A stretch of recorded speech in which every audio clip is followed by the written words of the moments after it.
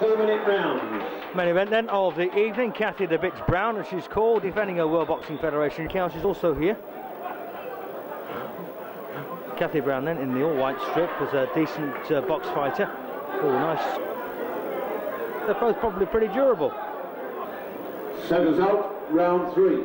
Magpie strip then of Audrey. A bit of history here also because it's the first time in my memory where two uh, women have actually topped the bill. Awkward right there, awkward right hook from Brown. Elbow was far too high, and that's the kind of punch where you hurt your hand.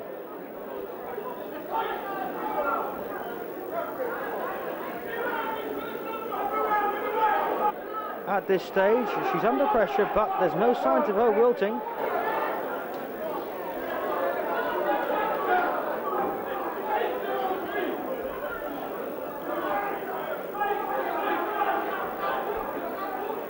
Brown, I think, has won two of the first three. But uh, this is the Honey Brown. Very impressed by that. And it's interesting how uh, Cathy Brown is an absolute. She's a graphics designer and does an excellent job. I've seen some of her work. Takes a right though here. Needs to get that left hand up a bit higher.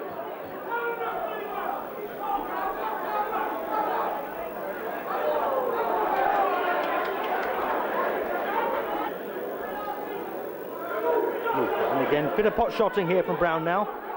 Guthrie being uh, not driven to a standstill necessarily, but she's kind of running out of ideas, which two pocket battleships, these two.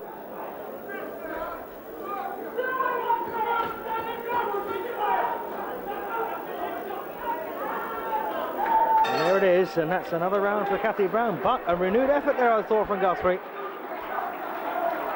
Here we go then for the sixth and final round to decide this one. Seconds out, sixth and last round. I've got a feeling it's already been discussed.